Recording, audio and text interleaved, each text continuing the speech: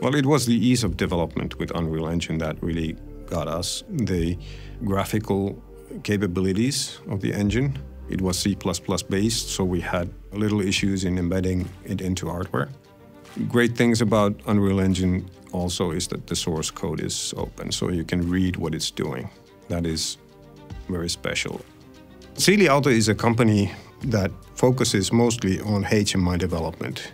We've been working since 2013 developing these HMIs for automotive customers, as well as tier one companies. In 2019, we started working with Unreal Engine. Now we're a gold service partner with Epic Games.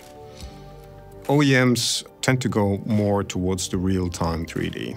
In earlier times, it was faking 3D, so you have videos that are being shown, but now real-time 3D is possible, especially with the latest hardware. And then there are things like the ADAS visualizations that you can see your environment, these AR HUDs, uh, augmented reality heads-up displays, which are 3D, and they can provide additional information to the driver.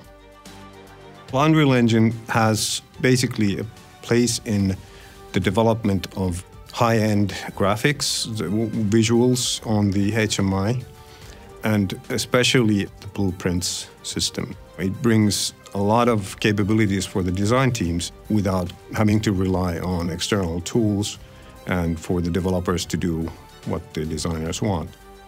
The whole development cycle for HMI in the old days would be about five years from end to end. Now it's about three years with efficient processes and ways of working. So you can use blueprints to speed up your development from the design all the way to testing. The whole pipeline is much more efficient, especially when you're doing designs on Unreal Engine. We use Unreal Insights tools to measure the performance of the software on hardware. So having the source code access in Unreal Engine is very good, especially in cases where you have an issue and you want to figure out what's going on. You can also adopt the code that you have in the Unreal Engine to your solution. That is priceless in the development of HMIs. Definitely the North Star for HMI development is the driver safety and then the overall user experience, the feeling, and of course, practicality. Is it a car that is meant to invoke feelings or is it a car that needs to be used in daily operation? So it's a branding thing. That's one thing with the Unreal Engine. Uh, with its capabilities, the branding, the feeling, and the overall user experience is something that you can create.